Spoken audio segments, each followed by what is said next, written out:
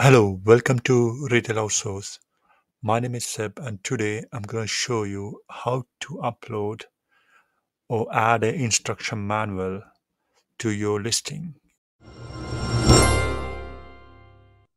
This applies if you are a trademark owner and registered as a brand seller on Amazon. So I'm just going to show you how it looks like. If you scroll down to a listing under technical details, you'll be able to see product guides and documents. This is where uh, the uploaded uh, PDF will be located. So this can be a user manual, it can be uh, how to use a product, or it can be a safety sheet.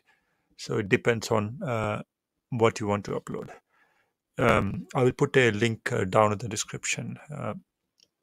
So these are the guidelines so certain things that you can do uh, or you can't do uh, with the with the pdf so you can have all these formats uh, and it can be a you know compatibility guide. So if you are selling a parts and it can be compatible with different things so you can uh, upload this uh, product uh, pdf for compatibility guide. And you can add faqs and you can add size guide if it's a clothing specification sheet or user guide or user manual. Whatever uh, applies to you, you can uh, upload it.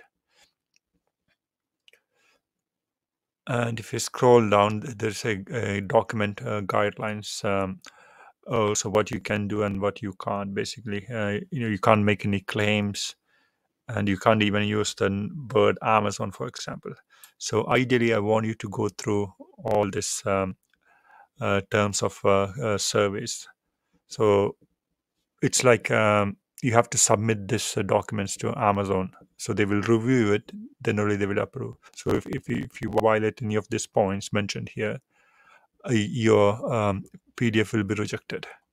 So please uh, read through it before you upload or create the document.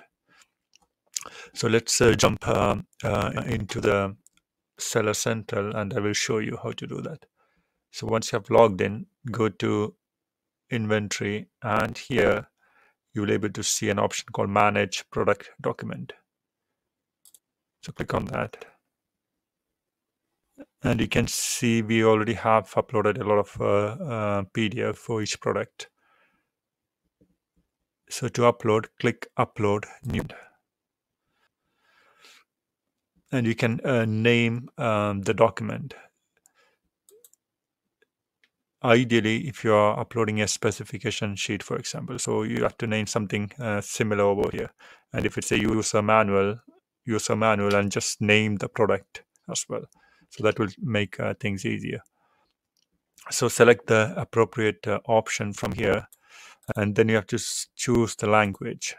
So in this case, uh, the parent um, account in this uh, UK one. So you, have, you can select the UK, English UK, and then you can uh, upload it. This will be um, once you have uh, entered all the details, you will be able to get the upload button, and you can select the ASIN. You can add ASINs from here. So add the ASINs, just paste the ASINs, and it will come up, and we can add the ASINs, and you can submit upload. So that's how you add the PDF and on the other hand you can have two pdfs like if it's for uk you can have one in english. And um, and if you sell for example in uh, germany france so you can have one more extra as well like in a different language. You can have german for example you can have but you can't have more than two I hope uh, this video was helpful. Please let me know if you have any questions. And we do post a lot of videos about eBay and Amazon and Etsy.